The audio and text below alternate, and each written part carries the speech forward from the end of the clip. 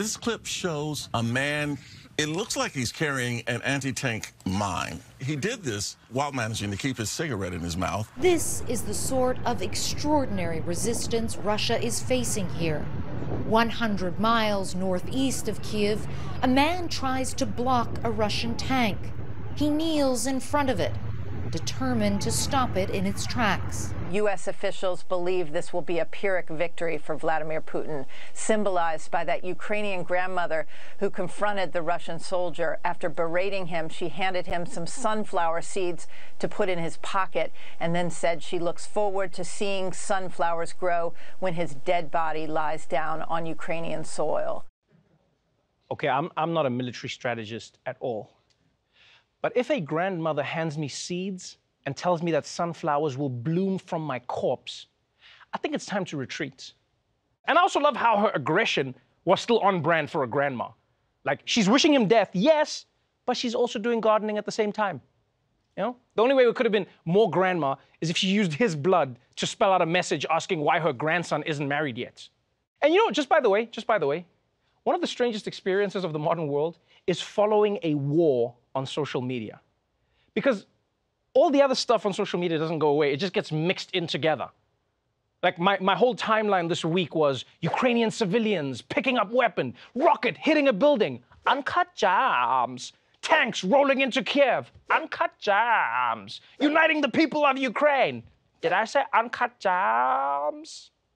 But those people that we're seeing in Ukraine, those are the ones who've just gone viral. One of the reasons Ukraine has been able to put up such a fierce resistance to Russia is because everybody, and I mean everybody, is stepping up and joining the fight.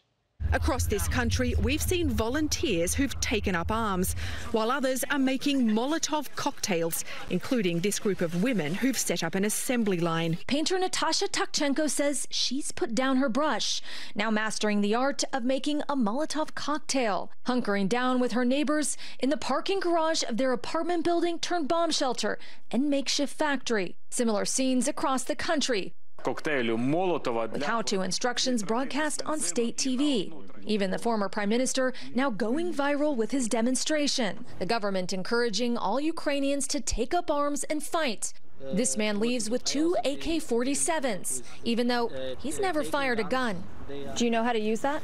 Uh, to tell the, tr the truth, I am not good at it, but I understand. I just need to to uh, have some uh, to find some quiet place and figure out how it works. Wow.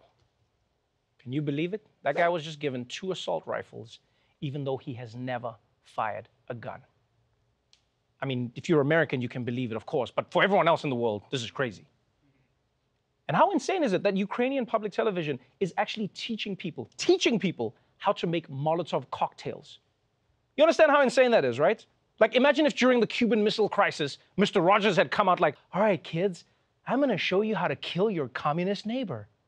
Now, when you talk about Ukrainians stepping up to this moment, one big part of this resistance movement is Ukraine's president himself, Vladimir Zelensky, who, by the way, nobody thought would be able to lead his country, like even less so in a war against Russia.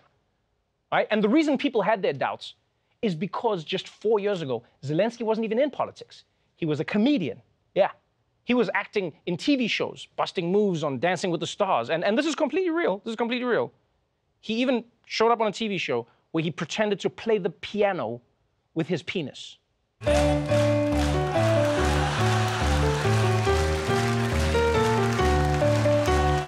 See?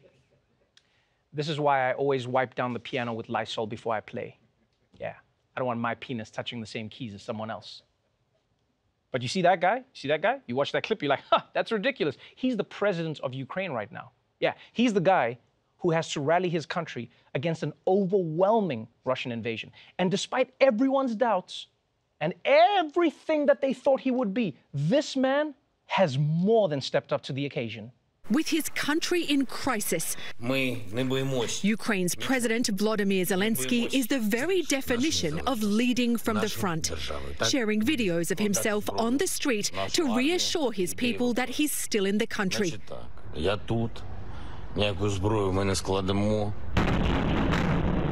He's braving Russian missiles and airstrikes and telling Ukrainians, you are strong, you are unbroken. He reportedly turned down a US offer to help him evacuate, saying, I need ammunition, not a ride. Damn. That's hella gangster. I need ammunition, not a ride. That's some action movie shit right there.